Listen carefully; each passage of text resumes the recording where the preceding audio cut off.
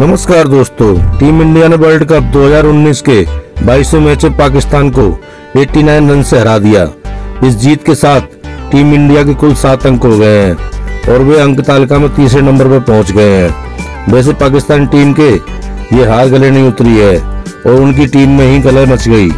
पाकिस्तान के पत्रकार साज सादिक ने एक फ़ोटो ट्विटर पर शेयर की, जिसमें कैप्शन देते हुए लिखते हैं कि मैच के बाद मोहम्मद आमिर अपने टीम के खिलाड़ियों से बिल्कुल खुश दिखाई नहीं दिए और मैदान छोड़कर चले गए।